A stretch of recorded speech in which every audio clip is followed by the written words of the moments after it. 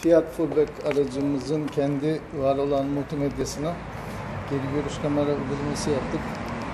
Hemen bagaj kapağının altına istetme manevra kolunun yanına kameramızı koyduk. Kaputtan bir parça gösteriyor bize mecburen. Herkes almak için de faydalı oluyor aslında. Bu şekilde arkayı net bir şekilde görüyoruz geriye taktığımız anda. Bu araçta bu multimedyalar genelde orijinal olarak var. Var olan multimedya geri görüş kamera uygulaması yapıyoruz. Gayet güzel bir uygulama oldu. Başarılı bir uygulama oldu. Güle güle kullansınlar. Sizin de Fiat Fullback aracınız var ise multimedyasına geri görüş kamerası montaj, satış, montaj uygulaması yapabiliyoruz. Video altındaki iletişim bilgilerinden bizimle bağlantı kurabilirsiniz.